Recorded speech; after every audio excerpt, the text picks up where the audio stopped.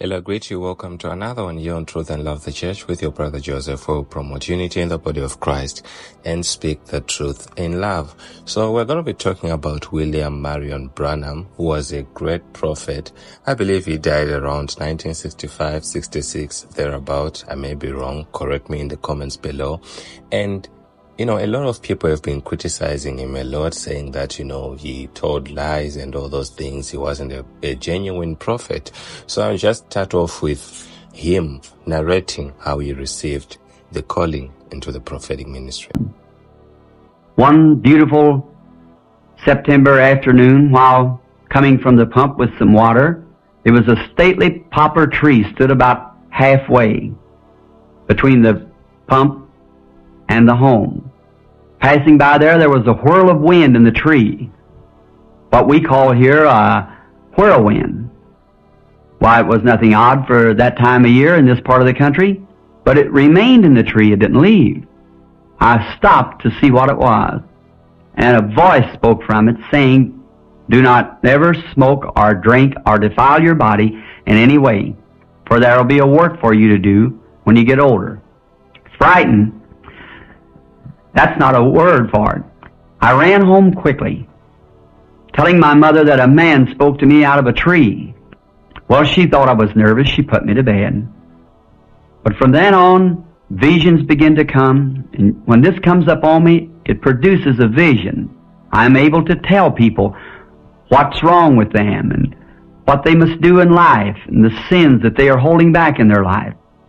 At the age of 37, one night I was praying in my room, and when I raised up, I noticed there was a light on the floor. And looking around to see where it come from, it was coming from above. The pillar of fire was hanging just above. It was throwing the light on the floor. I heard someone walking. I looked coming through the room. Coming into this light came a man. And human figure, he'd be about 200 pounds of weight. He had dark hair to his shoulder, an olive complexion, is barefooted. Of course, I was frightened. And he said to me, Fear not. And as soon as I heard that voice, I knew it was the same voice that had always spoke to me, but the first time I'd ever seen him in human form. And he said, I am sent from the presence of God to tell you that you're to pray for sick people. Great signs and wonders will be following your ministry, and you'll be praying for kings and monarchs and so forth. Well, I told him I was a poor man. I had a, no education. I would not be able to do this job.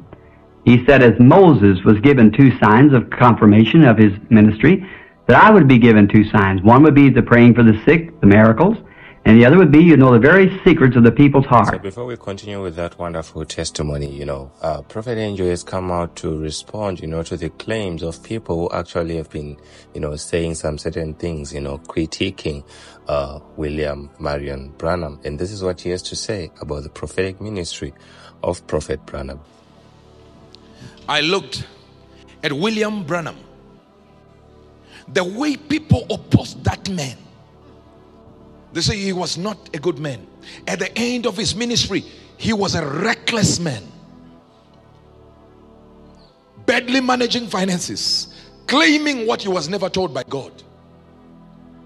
Do you notice? We are very good at analyzing somebody who is more gifted than us. I have advice for you. If you have not done 1% of what Branham has done, shut up. You are not qualified to talk. If you've even done 10%, don't talk. You don't know Branham. You don't know him like that.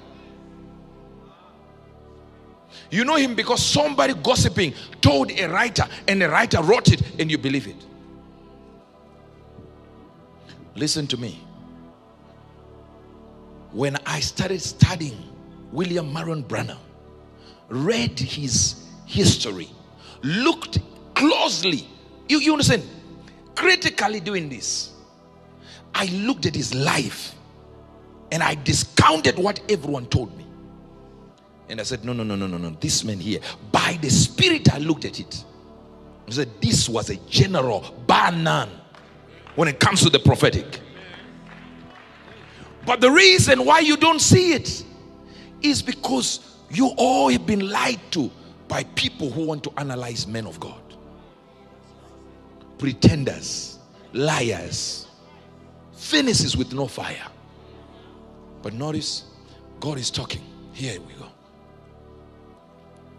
Remember, therefore, from whence thou art fallen. So, my family, I will leave you with, uh, you know, just just a few videos, maybe just one video or two videos of the prophetic ministry of William Branham, so that you can just see. For those who haven't, you know, heard about his ministry, this is how he ministered to the sick. This is how he prophesied to people.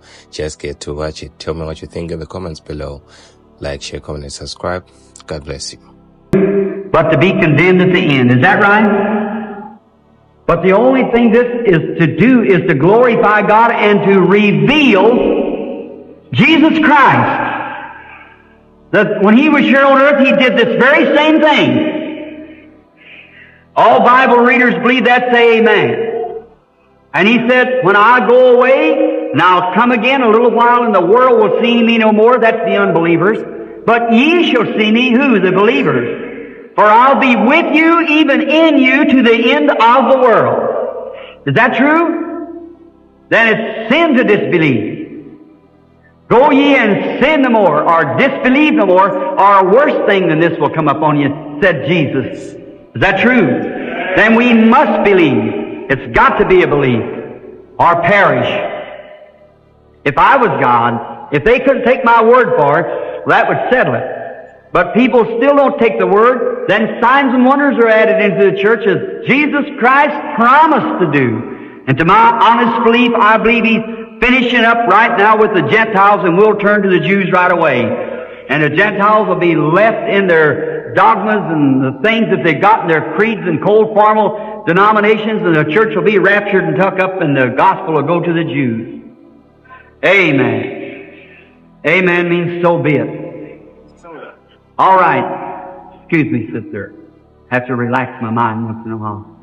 Now we are be strangers. I see that you are strictly a stranger to me. Yes, sir.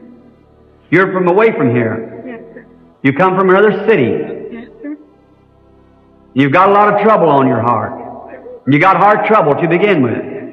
Is that right?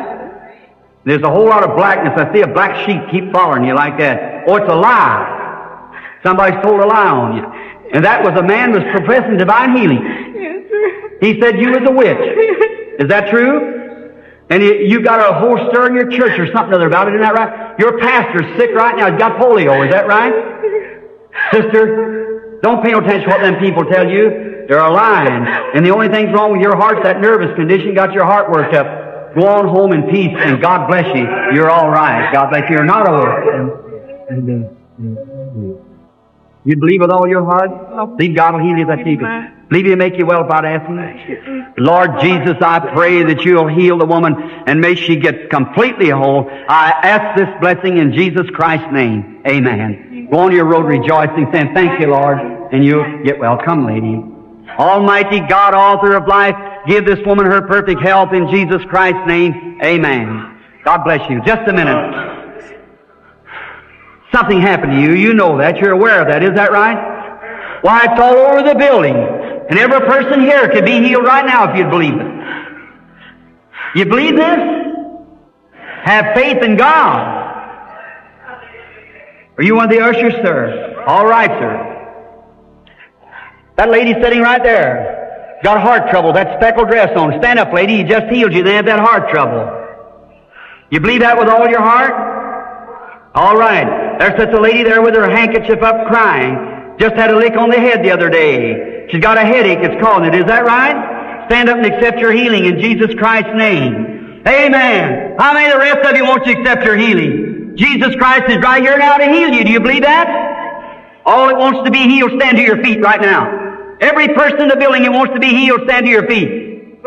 Raise up your hands like this to God. Almighty God, the author of life, the giver of every good gift, as our spirit is here tonight, I pray that you'll heal every person in this building. Thou art here. The Holy Spirit is here. And I now, as your servant, along with these other servants, curse every disease that's in here. May the Jesus Christ, the Son of God, heal every person in here. Satan, leave these people in Jesus Christ's name.